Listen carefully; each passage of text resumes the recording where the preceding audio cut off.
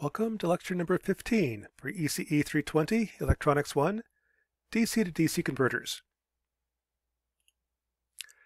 Now converting AC voltages is really easy. You just use a transformer.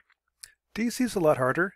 You can do it, but it tends to be much more difficult and lose efficiency. The objective here is to convert a DC voltage from one voltage to another. Uh, reasons you might want to do that. If you want to connect your car to your cell phone, the car's battery is 13.2 volts. Your cell phone is 5 volts. I need a way to step down 13.2 volts down to 5 volts. There's also a way to go up. I want to go from 5 volts DC to say 12 volts. The reason being is in the microprocessor cell phone is 5 volts DC, as TTL logic. The serial port on a PC needs plus minus 12 volts, so I might need a way to increase the voltage. This lecture looks at part of it the first part, dropping the voltage, that's a buck converter. Now there's a couple ways to do it. The most straightforward way is to use a voltage divider. That's something we've already looked at. For example, if I want to take a 12 volt source and drop it down to 5 volts, I could just use two resistors. That'll give me 5 volts at VL. This works. This converts 12 volts down to 5 volts. However, it only works if you don't use it. For example, suppose I want to draw 100 milliamps at 5 volts. 100 milliamps at 5 volts is 50 ohms. If I connect a 50 ohm resistor across the load, then what happens is these two become in parallel, and the voltage goes from 5 volts suddenly down to 0.08 volts. So this is a 5 volt power supply that disappears as soon as you try to use it. There are ways around that. If one have a 5 volt power supply capable of 20 milliamps, what I could do is take the same circuit we had before and an op amp buffer. Uh, this one reason to use an op amp is a high impedance coming in, so this voltage won't change with the load. And op amps can typically drive up to 20 milliamps. You can actually get op amps capable of more than that. There's a 2544 op amp that's capable of 2 amps. That's an $18 op amp though, so we tend not to use those. Problem with this circuit is if the voltage, the 12 volt supply changes, then the voltage here changes. A way to fix that is use a Zener diode. This 70K resistor just keeps current flowing through the Zener to keep it in the active region or Zener region. That keeps the voltage right here at 5 volts. And the op amp then provides a nice steady 5 volt supply to your load, 5 volts at up to 20 milliamps. Problem with this approach is the efficiency. If I want to deliver 20 milliamps to the load, I'm delivering 100 milliwatts to the load, 5 volts at 20 milliamps. The power supply. The op amp's got to be powered by something, probably the 12 volt supply. That 20 milliamps has to come from somewhere. It's going to come from your 12 volt supply. So I'm using 240 milliwatts to drive 100 milliwatts. So I'm only 41% efficient. Uh, third circuit. This is a 7805 regulator. These are actually really nice. If you don't care about, about efficiency, this is a really easy way to convert one voltage to another. There's 7805, that's 5 volts out. There's also 7804, 4 volts out, 7806, 6 volts out. There's a whole slew of these. They're fairly cheap, they work extremely well. The efficiency is not great though. What's on the inside is the same Zener diode that we had before. This regulates this at 5.7 volts. To increase the current capability, I add a transistor. What that transistor does is if I draw a little bit of current through the base, that gets amplified by beta, so now I can do things like drive 3 amps at the output. Uh, 7805s are really easy to use. You just have three pins, power, ground, and the output voltage right here. The problem with them, oh, they also work over a wide range. This 12 volts isn't real critical. It'll work all the way down to about 6 volts at the low end, 36 volts on the high end. The problem with them, though, is the efficiency. Again, if I want to draw 1 amp at the output, I've got 5 volts at 1 amp, 5 watts coming out. The power comes from here. If I have 1 amp going out, I've got 1 amp coming in. 12 volts at 1 amp is 12 watts coming in, 5 watts going out. Once again, I'm 41% efficient. If you want increased efficiency, that's where you need a buck converter. A buck converter consists of this. I've got my voltage. Here I'm going to assume a 20 volt power supply. I want to drop down to voltage. A switch, an inductor, and your load. What the inductor does is it keeps the current constant. If I close the switch, I'll have 20 volts powering my load. If I open the switch, I'll have 0 volts powering the load. By varying the duty cycle, switching the turning the switch on and off at different uh, percentages, I can vary the voltage at V1 and V2. If I do that, V1 is going to have a highly variable voltage. The inductor, what that does is that keeps the current flowing. So when the switch is closed, the inductor builds up energy in the magnetic field as the current goes up. When the switch opens, the field collapses, and the inductor is your battery. It provides energy to V2 to keep the current flowing. Then the switch opens, I build up the energy in the inductor, switch closes, the current keeps flowing. That's one way to think of it. Another way to think of it is, is a filter. By voltage division, the voltage V2 is Z1 over Z1 plus Z2. At DC, this has low resistance, so the voltage goes right through. At 1 kilohertz, this will have a high resistance, so the ripple, the AC portion of V2, will be much smaller than it is at V1. The capacitor acts as another filter. If this impedance is, say, 50 ohms, half the 100 ohms, at DC this has no effect. At AC it's half the resistance, so I have the ripple. So that's kind of the idea behind it. With a buck converter, I need to, there's two parts, analysis and design. If I start with analysis, suppose I had a buck converter with 40% duty cycle. What the voltage is going to look like is when the switch is closed, I have 20 volts, of course. When the switch is open, there's still current flowing. This diode provides a path for the current to flow. Uh, basically with an inductor, you can't shut the current off to zero. You want to keep it flowing. This is the path for it. The side effect is when I have this diode, this is ground, the top side is going to be minus 0.7 volts. So the voltage across V1 is going to go from plus 20 to minus 0.7.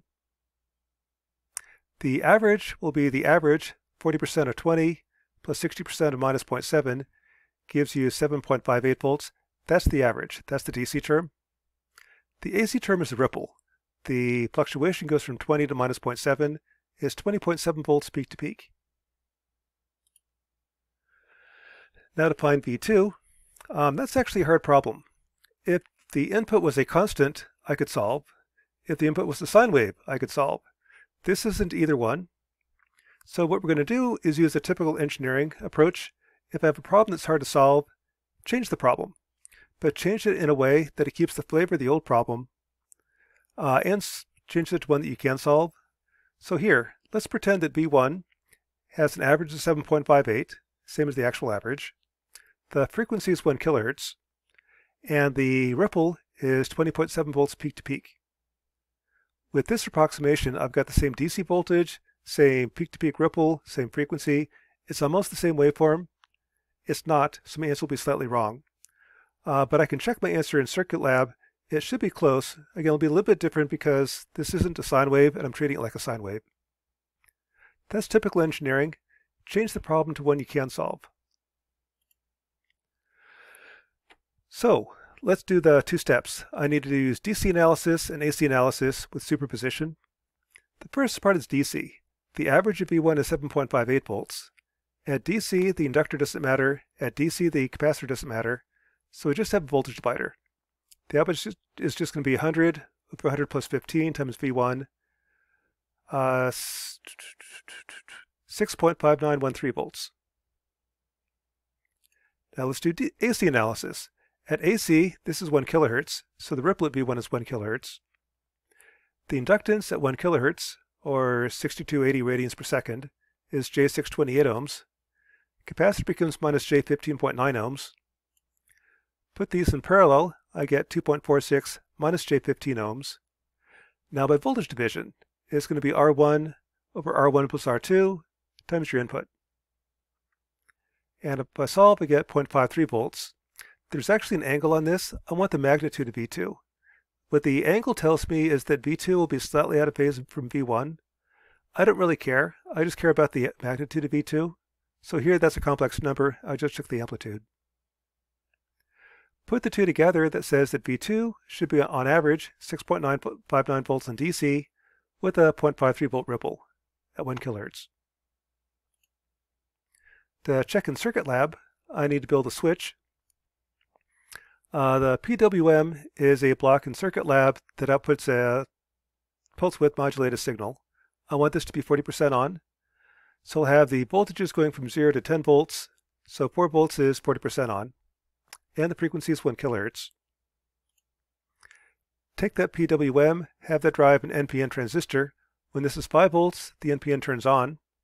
I have a path to ground, and the PNP turns on. So there's the switch uh, closed.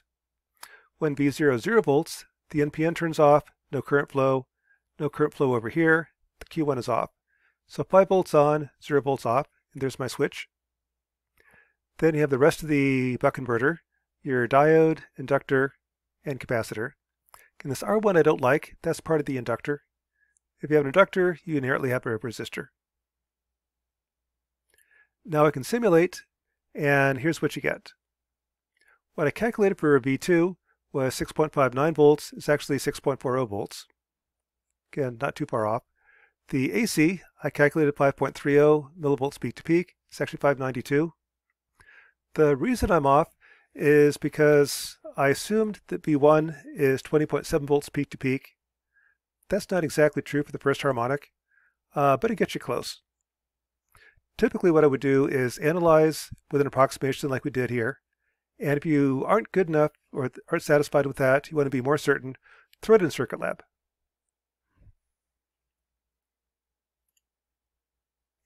In terms of efficiency, the big advantage of the buck converter is efficiency. The 7806, that's a 6 volt output, just to keep it apples to apple, apples comparison, would be 30% efficient.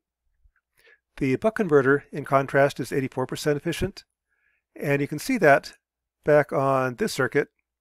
If I have current flowing, the power to the load is the output power. The total power is I squared R, power loss in I2, R2, I squared R1, and the voltage drop. This is a 0.2 volt drop times current gives you power. That's the total power when the switch is closed. When the switch is open, it's almost the same calculation, but instead of drop across Q1, I would include the voltage drop across diode 2, that 0.7 volts. Put them both together, the average efficiency is 79% or 81%. That's a whole lot better than the 30% efficient of the voltage divider, or 7806, um, for quite a bit more work. Next, that's analysis. Let's do design. Suppose I want to build a buck converter that converts 20 volts down to 5 volts with a ripple of 0.5 volts at the load um, and a frequency of 1 kilohertz. The first step is to find the DC analysis. What's the DC voltage at V1 and what should the duty cycle be? If V2 is 5 volts, at DC L doesn't matter, C doesn't matter, by voltage division, V2 is a percentage of V1. To make V2 equal to 5 volts, V1 has to be 5.75 volts. To get the duty cycle then, 5.75 is the average of 20 and minus 0.7. Alpha is the duty cycle. That works out to a duty cycle of 31%. So I want this to be 31% on. That'll set the DC voltage. For the AC voltage, I've got two degrees of freedom, one constraint. Uh, one approach would be Let's just pick the inductor to reduce the ripple by 10 times so that the 20.7 volt peak to peak ripple here becomes 2 volts peak to peak at V2. To make the ripple 10 times smaller, the inductor should be 10 times bigger than the resistor. So your voltage division R1 over R1 plus R2, if this is 10 times R, the ripple will be about 10 times smaller. Um, if uh, the inductor is 10 times the impedance of the resistor, that says the inductor should be 159 millihenries. To get the capacitor, I now have 2 volts peak to peak ripple at V2. I want it to be 0.5. I want to reduce the ripple by 4.14 times. So I make the capacitor 4.14 times smaller than the resistor.